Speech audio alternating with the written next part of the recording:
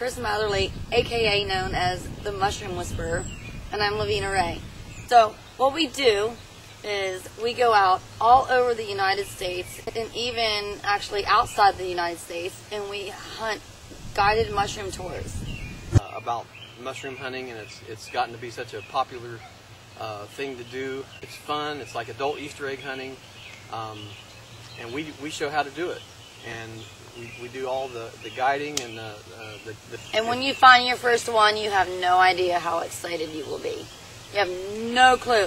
When you see that little sucker sticking out of the ground, you're like, whoa! Yeah, here he is. Yeah. It's, it's very fun. It's so fun. It's a and lot of- bring your children. It's, a lot of fun. Fun. I, I've had people come to the forays that that uh, swam across Alcatraz, the, chan- the channel, and traveled right. traveled the world and all sorts of things. And they said they on had a backpack and never has so much fun they in their life. never never had as much fun as on the foray. We have a lot of fun. It's That's so right. it's so unique and fulfilling.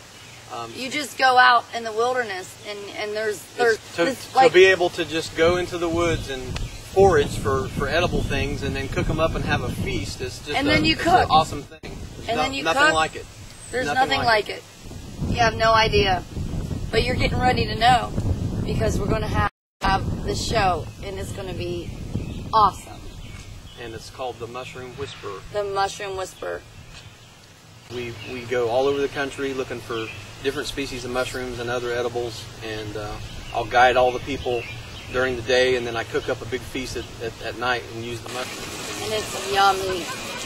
Very very unique flavors and uh, things you can't buy in the store, and, and uh, uh, everybody. Yeah, we're not talking about portobellos. Mm-mm. These are morels. morels, chanterelles, porcini, um, all sorts of things, oyster mushrooms, uh, truffles. Uh, we, we do it all, and, and I cook them up and do a do a big dish. I have uh, a lot of uh, concoctions that I come up, and every, everybody seems to just go nuts over the cooking and everything. So Let me know what you're making there, Chris. we got chicken quesadillas, chicken and morel quesadillas uh, with uh, cheese. Gonna put sauteed morels on there. I'm gonna put some chicken. A little bit of pico.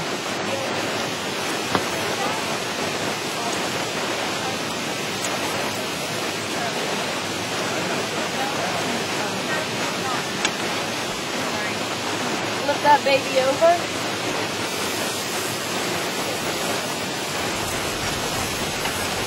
Put it on a nice bed of lettuce. Voila. And we got sour cream. Sour cream, guacamole, and And pico. pico. pico. I, I started the Mushroom Club in 1999, and um, I've got over a thousand members now. MorelMushroomHunting.com, and uh, I've written a book on morels. This is the book that you need to have, okay? Chris Matherly wrote this, okay, and I edited it, okay? It's Morel Mushroom Hunting Secrets. So, But you can get some of the most unique flavors and medicinal qualities of, of wild mushrooms that, that you, you just cannot even imagine. Uh, very unique flavors, and, and they're actually really healthy for you. Some of them actually shrink tumors, lower blood blood pressure, build your immune system, and lots of other things. It's such a, a really neat thing. It's probably, I'm sure it's going to be uh, a mushroom that they where they find the cure of cancer, just like penicillin is actually a fungus yeah. that's where, what we're out here doing, teaching all the medicinal qualities, all of the good, uh, the good edibles out there. And like I said, when we go on a foray, we do things like fiddleheads and coal miner's lettuce, and uh, you know, just all sorts of things, wild asparagus, and Fiddleheads, I call them fern gullies. Mm -hmm. Fern gullies. I Yeah. call them fern gullies. Mm -hmm. and what did we come across? A fern gully. Fern gully. Well, it's well, it's not really a fern gully, but that's what I call a it. fiddlehead. a fiddlehead, Fiddle- fiddlestick. Whatever. And uh, Hey, I found a truffle. yep, I don't know how I found it, but I found a truffle. Didn't I? you sure did. I have no clue. Okay, what do we have here? What we have here is failure to communicate. No, I'm just kidding. Um, well, we have a truffle. And how? I, where I did that come don't. from? Well, I found it, and I just sliced it, and I don't know how I found it because I don't even know how to find truffles, but apparently I did. So, yeehaw for me. All right. Well, we're gonna use your thirty dollar truffle there. Yeah, well, I would have rather had thirty dollars. Okay. We're going to use your thirty dollar truffle and put it on top of the pasta. Okay, sounds good to me. At least I'll eat. Enough truffle for one, anyway.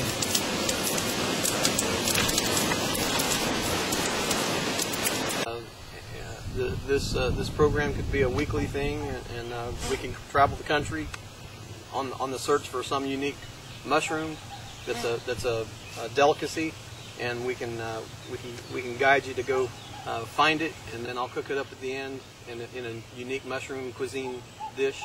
And Yummy, it- yummy in your tummy. It'll be something like you'll, you'll never ever forget. I can tell you that. Exactly.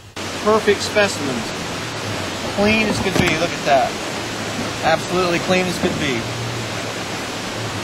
The Italians are going to be envious tonight. Spring King Boletes, Laccaria laccata, I'll watch it in a minute. It's fine. Pluteus cervinus, Suillus, oyster mushrooms, pink tip coral, man on horseback, morels, and a bee. What do you think about soup? Soup was amazing. It's delicious. How many different kinds of mushrooms did you use in the soup tonight? Out of curiosity. Eight. Oh, it was so good. Eight different kinds. Wow.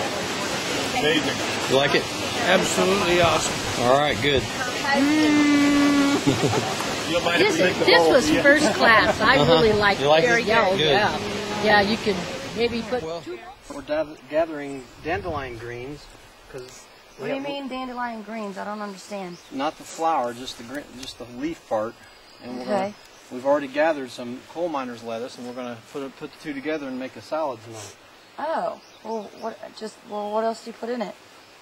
Uh, you put uh, apple apple vinegar, uh, green onions, bacon bits, and uh, uh, some mustard, dry mustard if possible, but you can use regular mustard, and sugar, brown sugar or white sugar.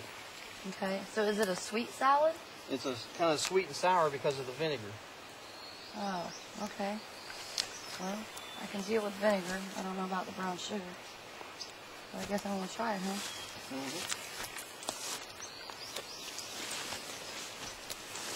I think you'll like it. That ain't enough, but we can find some more on up here. I think. Okay, we have we have dandelion greens and we have miner's lettuce. All right, we have vinegar, uh, vinegar, brown sugar, and mustard that gets poured over top of this and wilts it. Then you add some onions and green scallions, and you add bacon to it, and that's your that's your salad. All Morel mushroom hunting secrets. Secrets. And now we know all the secrets. We know the secrets, but we're not Don't gonna tell anybody. You. We will not tell you. Whoa. Food there it is.